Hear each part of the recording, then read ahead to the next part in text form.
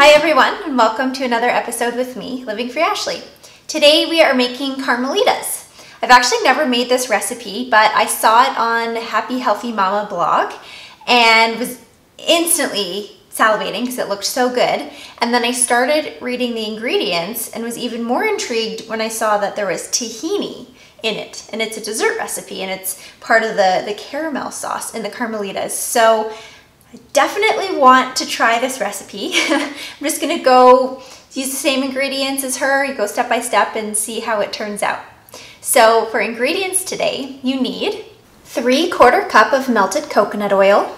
Today I'm using deodorized coconut oil so that the, the flavors of the, the caramel and the chocolate really stand out.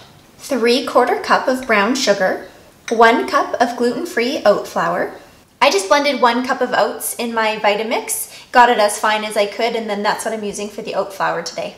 One cup of gluten-free oats, one tablespoon of pure vanilla extract, quarter teaspoon of sea salt, half a teaspoon of baking soda, half a teaspoon of baking powder, half a cup of tahini, half a cup of pure maple syrup, half a cup of canned full-fat coconut milk, a pinch of sea salt, and one cup of vegan chocolate chips.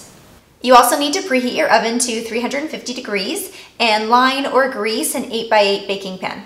Okay, let's get started.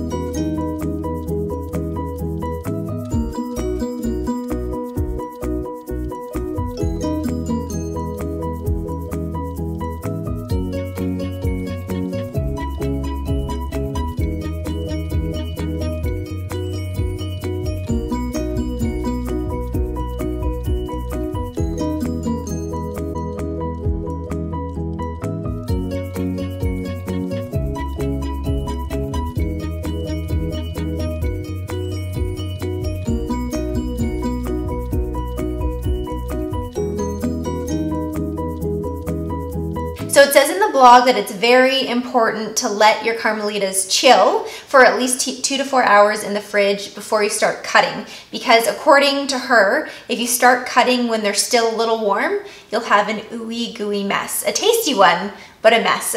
so make sure you let them chill before you cut into them.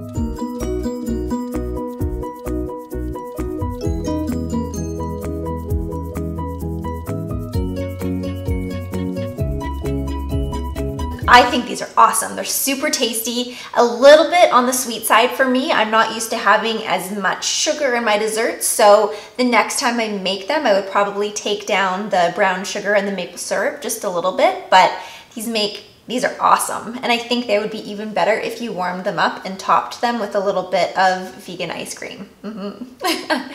Thank you again for watching another episode with me, Living Free Ashley. Don't forget to subscribe and cheers to living free.